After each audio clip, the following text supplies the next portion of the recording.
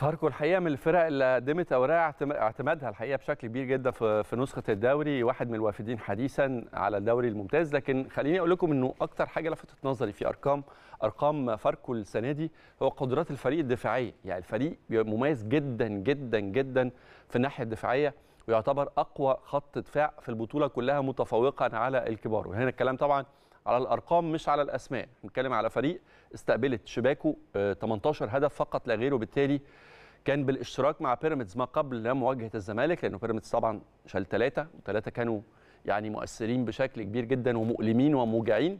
لكن في النهاية كان بيتشارك مع فاركو في إن هما الاثنين أصحاب أقوى خط دفاع برصيد 17 هدف. لكن طبعا دلوقتي بعد الثلاثه بتوع بيراميدز في مباراة الزمالك بقى منفردا. هو صاحب أقوى خط دفاع وإن كان على نفس المستوى من التفوق دفاعيا تلاقي هجوميا إن ممكن يكون في معاناة لأنه صحيح استقبل 18 هدف فقط لا غير لكن خط هجومه ما سجلش غير 20 هدف بس. وبالتالي لو فكر الجهاز الفني لفاركو إنه يلعب zone defense زي ما كل الفرق بتلعب مع الأهلي في الفترة الأخيرة تلاقي الفرقة كلها قاعدة في ال box ورا بتدافع كل ثلاث خطوط متمركزين قدام المنطقة بيدافعوا ممكن شوية نواجه صعوبة النهارده وخصوصا في غياب معظم الأجنحة بتاعة النادي الأهلي للإصابة.